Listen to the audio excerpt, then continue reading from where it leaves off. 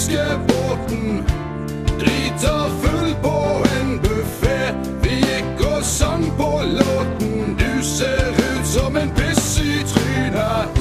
Og servitøren brisket seg, nå tar vi og roer oss litt ned. Jeg lo og ba han slappe av,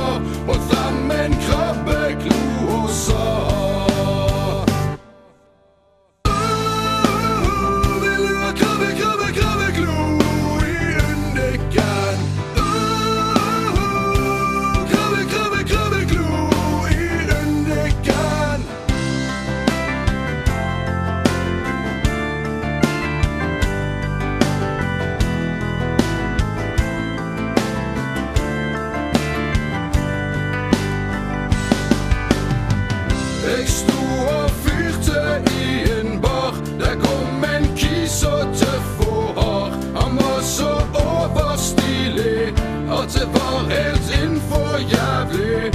Han fant en kvinne